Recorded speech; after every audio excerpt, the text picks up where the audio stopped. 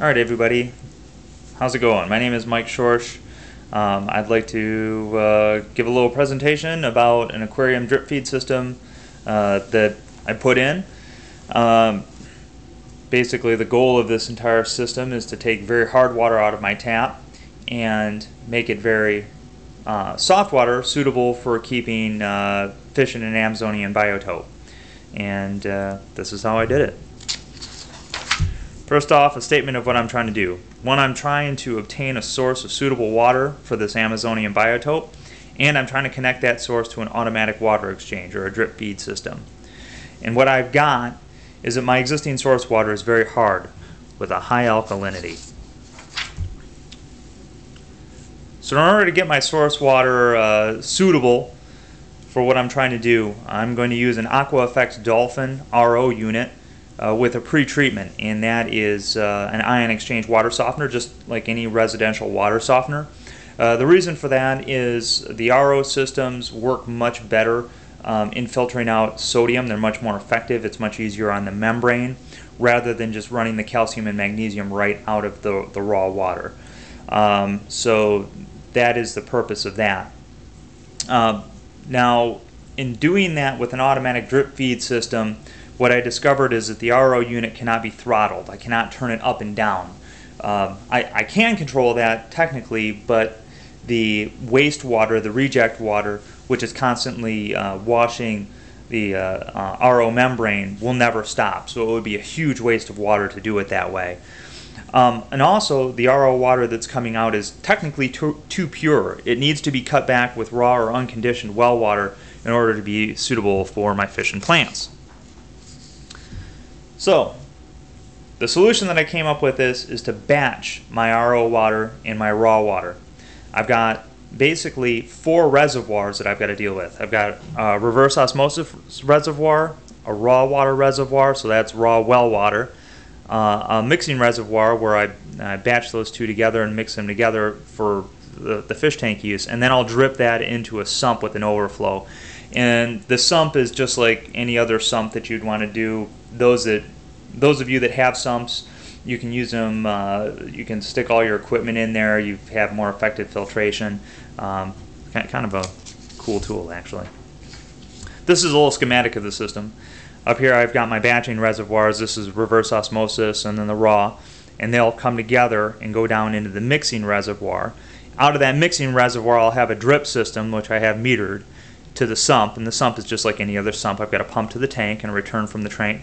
And then also because it's constantly dripping, I've, I've got a little overflow in there so that that drip, um, which is, I guess, technically the used water or the old water, uh, just overflows to the drain. Okay, so what is this batch reservoir? What what makes this uh, especially special?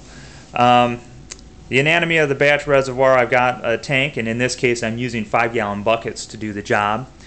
I've got a feed, in this case I've labeled it from the reverse osmosis system with an automatic shutoff valve. Uh, the automatic shutoff is required when I use a float valve. So this float valve, when this tank, the water level fills up, the float valve will shut off the uh, the feed water, and then the automatic shutoff valve will in turn shut down the RO system so that the, the wastewater um, or the brine water uh, will stop flowing as well, and, and I can solve that problem. Also in here, I've got something that the aquarium people might uh, have never seen before. Uh, it's called a bell siphon. And that bell siphon is what I use to drain this reservoir when I want it to fill up the, mi the mixing tank. Then at the bottom I've got it labeled here, a little bulkhead, and then there's the drain to the mix. Okay, so bell siphon. What are we talking about here? Okay, It's used a lot in aquaponics. I've, I found uh, quite a few uh, YouTube feeds um, with uh, aquaponics and people using bell siphons to make this happen. It's they refer to it as an automatic siphon, but there there really is no such thing as an automatic siphon. Like any other siphon, you have to prime it somehow. But this one is a little bit unique because it is easy to prime, and uh, and and it's really very well suited for this application. Um, the anatomy of this, there's a central riser tube, which in this case, what I'm using is three quarter inch PVC. And then I've got a bell that goes over the top, and that bell has got a cap on it, so that's sealed up tightly. And uh, I'm using inch and a half PVC. And then I've got a little bit of a gap at the bottom, the bottom of the bell, and then there's a bulkhead, and that's the bottom of the tank, and then the drain on out. And the way this works is that the water in the surrounding tank, as it fills, it'll rise up to this level. And once you get up to the top of the riser tube, that's what controls the height of the water in the tank. And if you continue to fill, what happens is the water is filling up inside this bell tube, it'll spill over inside the riser tube. And if the flow is high enough or the geometry is correct, correct what will happen is that inrush of water will form an airlock. And that airlock will start gulping air down with it.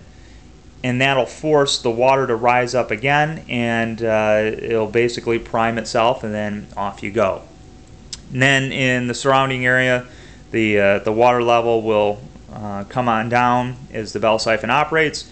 And then when it hits the bottom of the bell or any opening that you've got it cut in there, the aqua, aquaponics people, some of them install what they call snorkels um, to break the, the siphon. Um, the siphon will break and the, the bell siphon will stop operating. So by adjusting the float valve to fill just below the riser, just a minor addition of water will start the siphon. So it's basically primed, ready to go. All I have to do is throw in just a little bit more water and it'll start the siphon. And the length of the bell controls how much the reservoir is drawn down. So in my case, I'm using two 5 gallon buckets. In that case, it's very easy. The RO and the raw water reservoirs have bells cut to different lengths, and this controls the ratio in which I'm mixing it. So I've solved the problem. I've got a source of RO water which is going to work out well for me, and I can control the ratio at which they're mixed. So I've got water all of a sudden that is suitable for um, uh, for my aquarium. So that begs the next question as I turn the page. But wait, how do we start this siphon? What I've done is in the mixing reservoir, I've installed a fountain pump, and that uh, basically uh, injects water up into the batching reservoirs and it starts the siphons. And uh, I put that note in there. I think this is very clever. Uh, now, some of you may say, okay, what I'm doing is I'm putting mixed water back into the batching reservoirs. And uh, you can run the math, you can run scenarios if you'd like to prove it to yourself, but basically, I am filling those reservoirs with uh, uh, a measured amount of water. And that water's got no place to go except into the mixing reservoir and um, and then finally into the aquarium. So the, the, the cut of those bells, if, it doesn't matter if I use mixed water to start those siphons. Um, the ratio, provided that you don't fiddle with it, um, will uh, eventually settle out and be the correct ratio uh, as you define by the bell siphons. All right, the next step, now once the water is in the mixing uh, tank, what I do is I do a drip feed. So I've got a bulkhead fitting to a throttling valve, and it's just a little brass ball valve that I'm using. Um, and a small capacitor rotameter, which I got off of eBay. It's a key instrument, so I'll show it to you here in a minute. But this is a schematic of what it looks like. We've got flow coming in, and then the flow goes up in an inner cavity inside the rotameter, and then it flows out. And there's a little float inside here. So as the flow picks up, then the float will rise, and you can adjust your throttling valve to, to get the, um, uh, the flow that you'd like. So how do I hold trigger this contraption? Well, right now I'm building uh, the, the trigger. It's an electronic trigger, having a lot of fun learning electronics and transistors and so on and so forth. And I, what I'm building is a series of low level switches and siphon switches which will turn the pumps on and off. Um, I'll post a video on that just as soon as it's done. Um, it's going to be kind of a, a, cool little system. But right now I'm triggering it manually, and it's, it's, it's not that big of a deal. I mean, if you feed your fish every day, then, you know, that actually gets it done. But anyway, some issues and tips before I actually show you the system. Uh, first off, bulkhead fittings. Uh, you can go online and you can find a bulkhead fitting, but what I would recommend is that you look at using uh, gray PVC conduit uh, male and female, and then you buy a gasket for that. And the reason for that is that when you thread together a male and a female uh, conduit, it's designed to thread together all the way. So that makes it an ideal bulkhead fitting. If you use just regular plumbing PVC for that, um, those threads are designed to lock together and not necessarily go all the way shoulder to shoulder. So um, the gray PVC uh, electrical conduit fittings work out really well, and then uh, for the slip joints, that they're compatible with normal um, white PVC plumbing uh, drain waste vent PVC that you'd probably be used to using.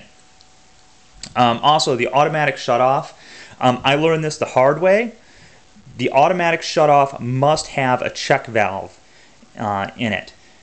If the check valve does not exist between um, um, in front of the automatic shutoff, what'll happen is that pressure will back up when when uh, when the float valve shuts it off, the, the pressure will bleed back through the RO membrane, and what will happen is the pressure will bounce and the rinse water or the reject water will never really shut off and you'll have kind of a weirdly oscillating system and it's not going to do what it wants to do. If you install a check valve, that pressure will hold and it will hold the check valve closed or the automatic shut valve, shut off valve closed uh, until the float valve sinks and then there's the call for water, the check valve opens and, and the operation of the RO resumes. Also, the reducer and the bell siphon.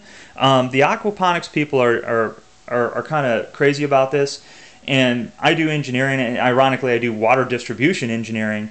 Um, so I know a little bit when you have a device, especially when you're asking a device to work off of system pressure, you know, you don't have an external source of power like an electrical feed, when you're asking it to run off of the line pressure, which is essentially what we're doing with, with a bell siphon, you have limited rangeability.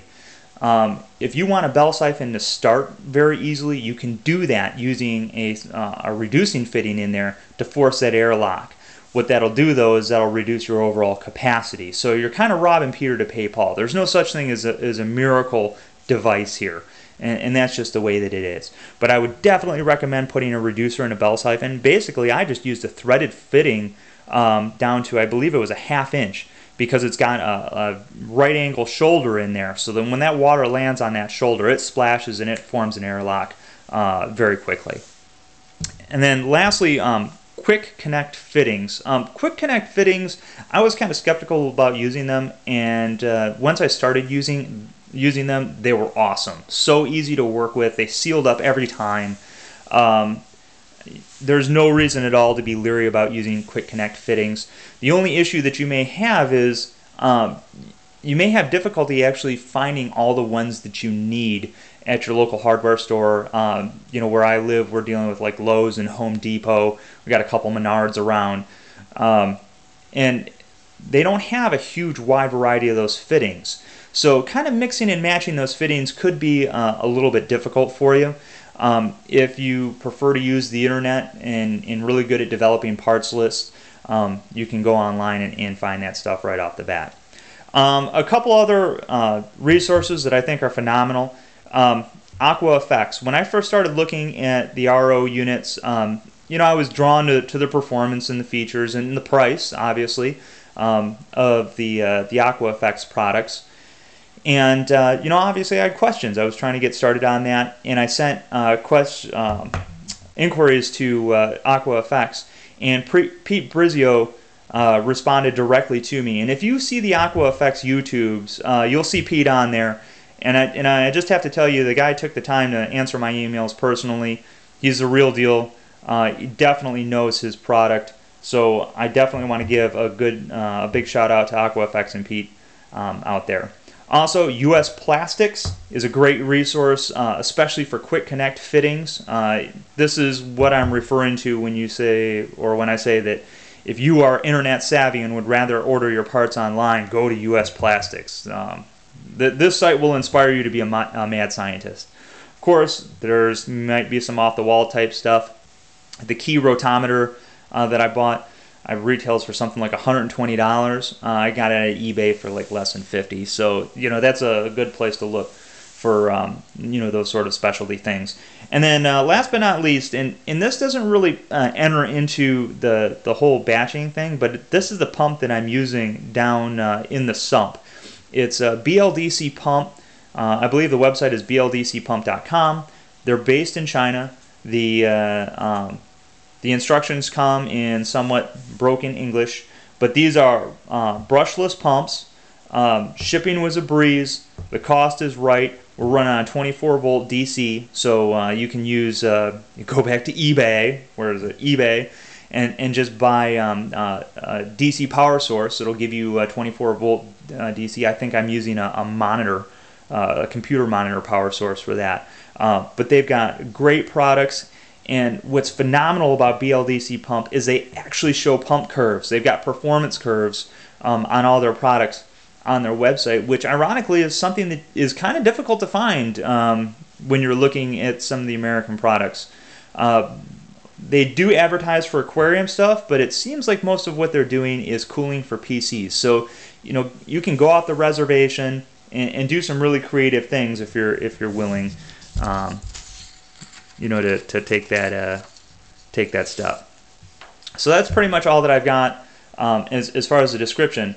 Let's go look at the system.